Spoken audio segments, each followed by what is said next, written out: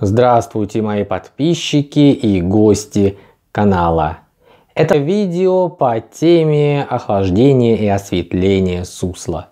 В этом видео поговорим про охлаждение сусла и про оборудование, на котором это осуществляется. На практике сусло охлаждают и взвеси отделяют из него различными способами.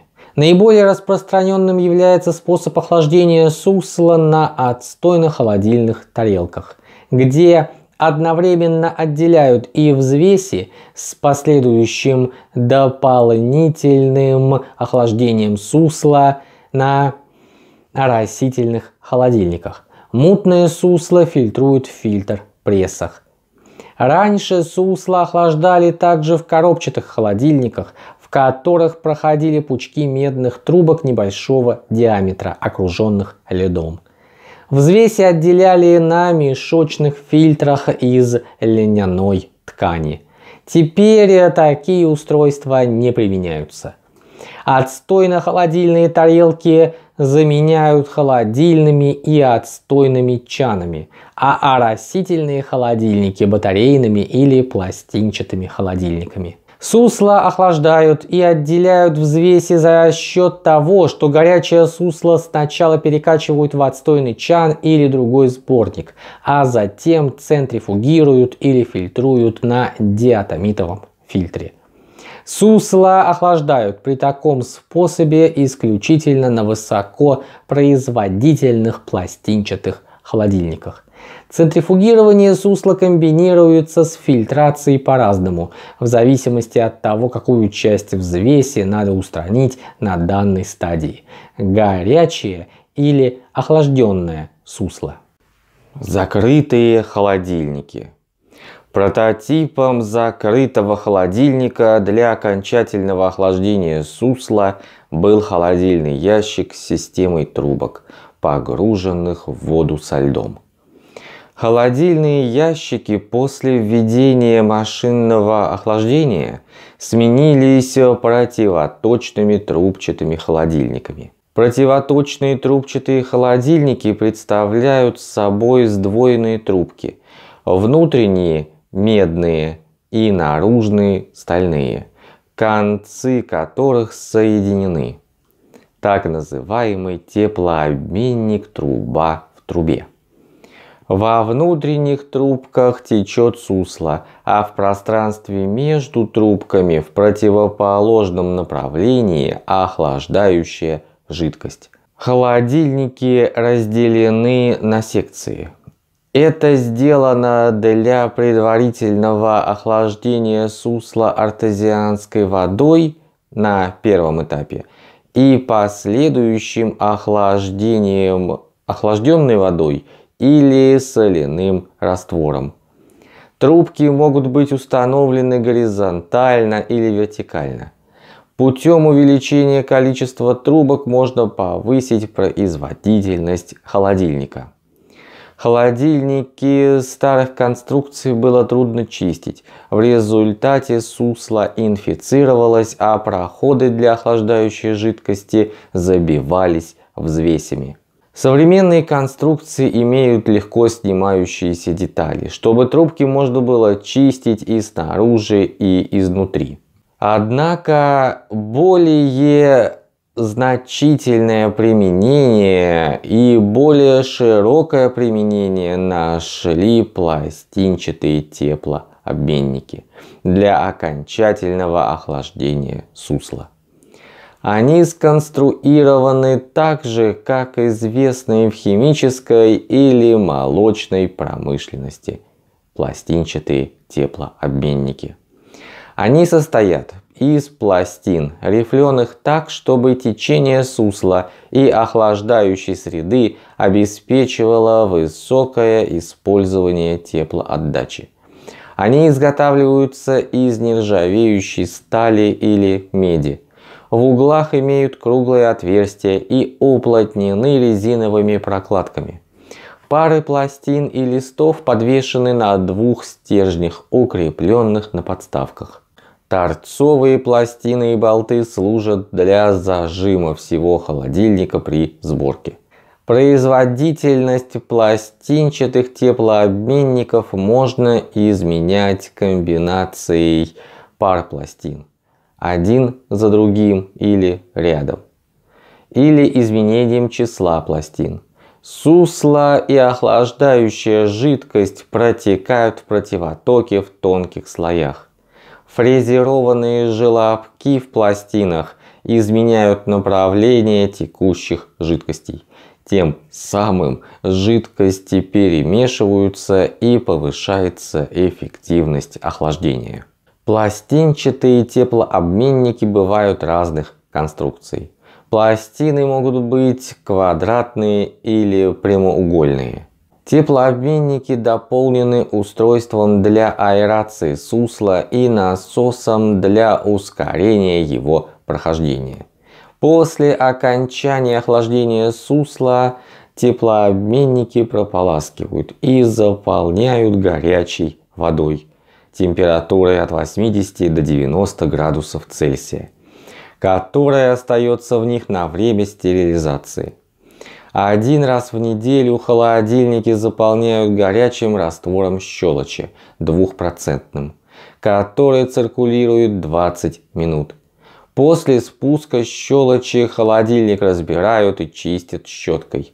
Преимуществом пластинчатых холодильников является большая производительность, экономия занимаемой площади, а также то, что их вместе с насосом можно разместить в любом месте. Далее подробнее рассмотрим конструкцию одну из конструкций пластинчатого теплообменника, а также схему движения в нем материалов. На экране представлена схема пластинчатого теплообменника, который состоит из тонких штампованных стальных пластин 7-11, устанавливаемых параллельно на штангах 3 концы которых закреплены в стойках 1 и 5. Пластины посредством плиты 4 и винта 6 сжимаются так, что между каждой парой образуется узкое пространство, по которому протекает жидкость. Уплотнение пластины создается посредством резиновых прокладок, приклеиваемых по периферии пластин и вокруг отверстий для прохода жидкости. На рисунке, который вы видите, пластины показаны в разомкнутом состоянии. Прокладки на пластинах располагают так, чтобы после сборки теплообменника в нем образовались две системы каналов. По одной протекает сусло, по другой холодный рассол, раствор поваренной соли или холодная вода называемые в дальнейшем теплоносители.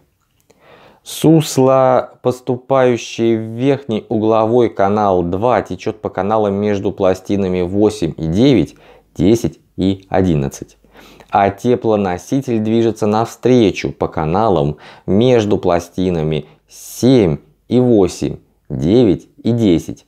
То есть потоки сусла и теплоносителя чередуются, и теплообмен у каждого потока происходит через обе ограничивающие поверхности, через обе пластины.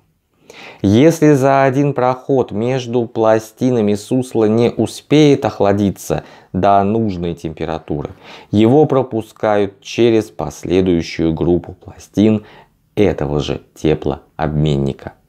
Такая группа пластин, по которой сусло или теплоноситель течет параллельными потоками, называется пакетом. Один или несколько пакетов образуют секцию.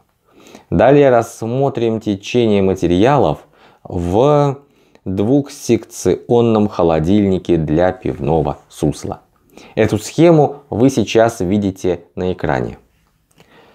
В водяной секции горячее сусло охлаждается водой. Для этого оно проходит тремя параллельными потоками последовательно через два пакета пластин. Холодная вода в водяной секции движется противотоком по отношению к суслу и происходит также последовательно через оба пакета пластин. В рассольной секции схема движения жидкостей несколько иная. Сусло двумя параллельными потоками проходит по двум пакетам пластин, а солевой раствор движется через всю секцию четырьмя параллельными потоками. Следовательно, в рассольной секции для сусла пластины образуют два пакета, а для рассола только один. Большая площадь поверхности теплопередачи, рифленая поверхность пластин, способствующая перемешиванию жидкости, повышают эффективность охлаждения сусла. Пластинчатые теплообменники удобны в обслуживании. Их можно быстро разбирать, очистить поверхность всех элементов, а также быстро подготовить к работе. Аэрация сусла. В сусле, охлажденном закрытом противоточном холодильнике, объем растворенного кислорода не бывает оптимальным. Вместе с тем необходимо достичь оптимального объема растворенного кислорода от 6 до 8 мг кислорода на литр, так как это существенно влияет на разбраживание и на главное брожение. Отсюда вытекает, что при закрытых способах охлаждения необходимо компенсировать недостаток кислорода путем искусственной аэрации сусла. При этом для достижения требуемой концентрации кислорода необходимо подводить значительный избыток воздуха. Применяемые для этого устройства дозируют тонко распыленный воздух в сусло – протекающая по сливному трубопроводу. Эти устройства расположены обычно непосредственно за холодильником. Разделительные элементы этих устройств изготавливают из пористых материалов, стальных или керамических. По Лейску и Калеру этот аэратор сконструирован для размещения в прямоугольном колене трубопровода для сусла. И отдельные его части представлены на экране. Пористая свеча аэратора изготовлена из белого пористого электрита. Она съемная и легкодоступная.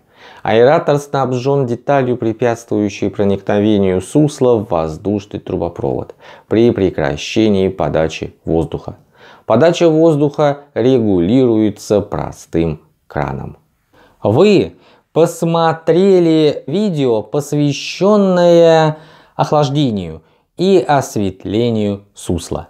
Я благодарю вас за внимание.